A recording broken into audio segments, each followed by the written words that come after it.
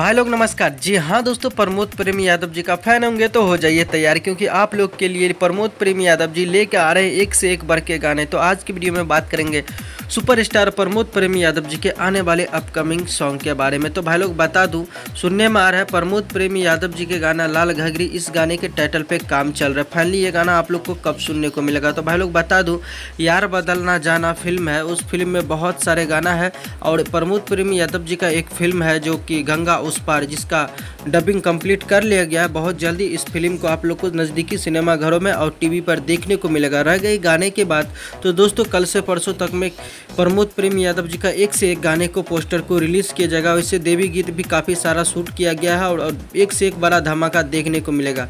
जी हाँ दोस्तों, बता दूँ, यही लेटेस्ट अपडेट था। सोचा आप लोग को जानकारी दे दी जाएगा। प्रमोद प्रेम यादव जी का आज भी कोई सॉन्ग नहीं आया। कल से एक से एक ब्लास्ट लेवल का सॉन्ग सुनने को मिलेगा। तो गैस मिलते हैं फिर से एक नए वीडियो के साथ। तब तक के लिए अपना ख्याल रखिएगा और देखते रहिएगा भोजपुरी चिप यूट्यूब चैनल। धन्यवाद दोस्तों।